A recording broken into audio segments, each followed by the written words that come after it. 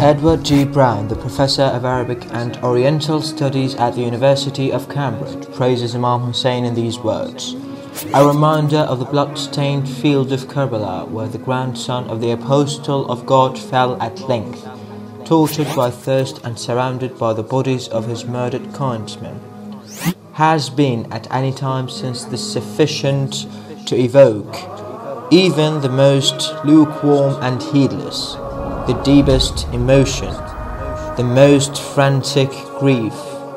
and an exaltation of spirit before which pain, danger, and death shrink to the unconsidered trifles.